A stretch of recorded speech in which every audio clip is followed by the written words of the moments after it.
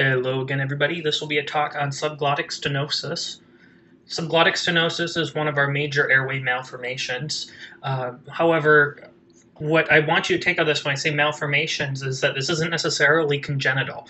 Uh, so indeed, some subglottic stenoses are congenital. However, it can happen secondary to an injury or secondary to an inflammatory process, etc. So I don't want you to come away thinking that all of these are necessarily in utero malformations. Uh, these can be obstructions uh, and acquired lesions as well. Okay, so the subglottic stenosis uh, tends to be in the cricoid cartilage region. Uh, we talk about laryngomalacia. That tends to be supraglottic structures, meaning above the vocal cords, above uh, the vocal folds. And then tracheomalacia is obviously going to be uh, a malformation of the trachea. So we'll go over our relevant anatomy. We'll do a brief overview. I'll show you how this typically presents, how you can work this up, what your differential diagnosis will be, and then how we go about managing this. So here's our relevant anatomy, uh, or at least part of it. So uh, here you have uh, the oropharynx uh, coming into the laryngopharynx here, um, and then your laryngeal structures. Uh, you have your tracheal cartilage right here. This is where your Adam's apple is going to be, although you're not going to really be able to feel that in a child. This is your hyoid bone. This is a good landmark to, to look for. On a child, you should be able to easily palpate that. Um, and then your cricoid cartilage is right down here.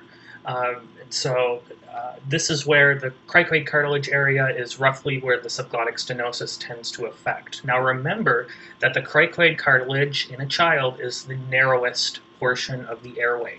And so if you have a stenosis of that region, you're going to have some significant uh, airflow issues.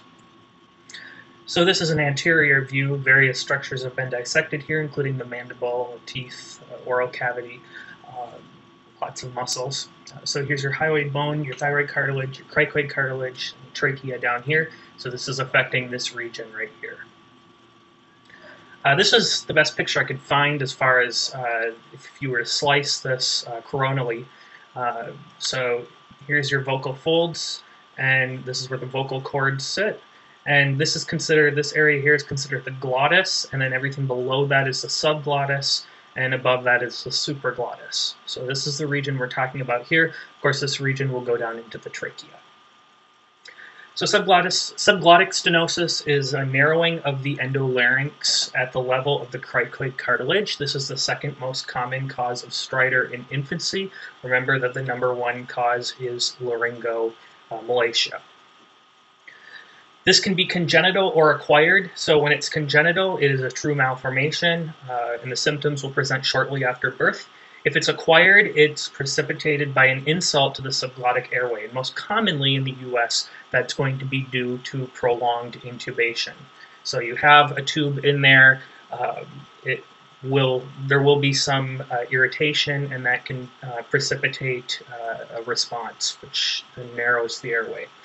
It can also be caused by infectious or inflammatory causes. We tend not to see this as much in the US, uh, particularly because uh, these causes are usually things that we just don't see here as often, uh, such as tuberculosis or diphtheria.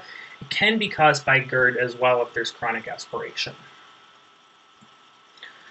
So this typically presents as croup. Now that makes perfect sense because croup affects this same area. Uh, and so a way that this can present is the patient who comes in frequently with stridor. And this can look a lot like, uh, this, this can look a lot like your typical croup. It can also look like spasmodic croup in as much as the patient isn't going to have a fever and they're going to have these chronic uh, stridor croup-like symptoms.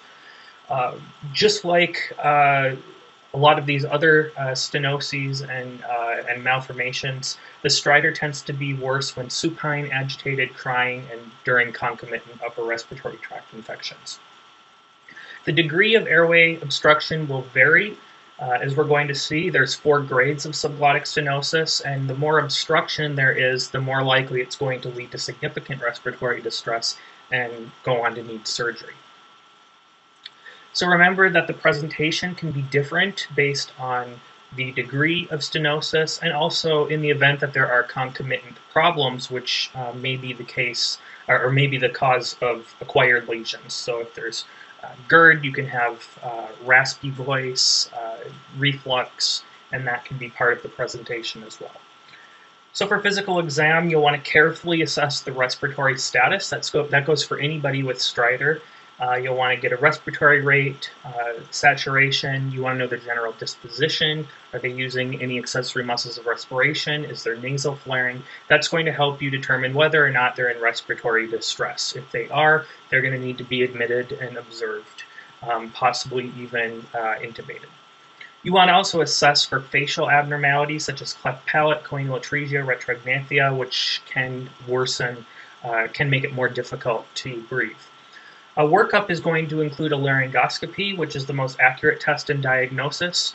Uh, and uh, if you do get a radiograph, so let's say that you're considering that this might be croup, you will, in many cases, see the steeple sign. And the steeple sign is just due to the inflammation in that particular region, in that narrowing region uh, of, uh, at the level of the cricoid cartilage. Um, and so this can be very difficult to distinguish from croup. Uh, the fact is, though, with subglottic stenosis, this is an ongoing problem. It doesn't resolve. That separates it from croup and spasmodic croup, where those will be more intermittent, especially the spasmodic croup that's intermittent. Okay, so this is a normal subglottis, so we're just below the vocal cords here. And this is a subglottic stenosis. So you can see that we have normal caliber here. Um, and then there's a stenosed region right here. Uh, this is right at the level of the vocal folds.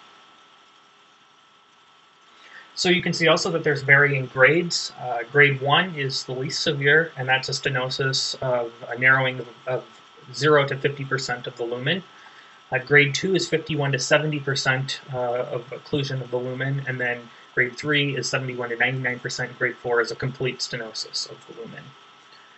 So grades three and four will typically tend to need surgery. The symptoms are going to be a lot worse. Grades one and two, a lot of a lot of these cases will not require surgery, and the subglottic stenosis, the symptoms will generally go on to remit once the airway uh, starts to grow with the child.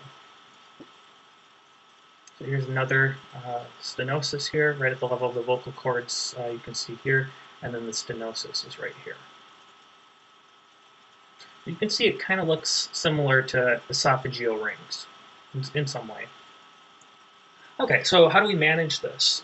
You want to secure an airway in cases of significant respiratory distress. You will need to use a smaller endotracheal tube. That makes sense because if there's stenosis, you're not going to be able to get the expected size tube uh, down the trachea. First step is going to be racemic epinephrine and systemic corticosteroids. They do not cure the disease, but they can reduce the symptoms. So once you have a secure airway, uh, or you decide you don't need an airway because the patient is saturating fine, you can give epinephrine and corticosteroids, particularly corticosteroids. Uh, this does tend to reduce the symptoms a little bit, but it does, obviously does not cure the disease. Uh, if they do not respond to epinephrine and steroids, or if they have significant subglottic stenosis, meaning 71% or more, grade 3 or grade 4, uh, you want to refer them immediately to a pediatric ENT. Ultimately, you are going to refer all of these patients ultimately to an ENT.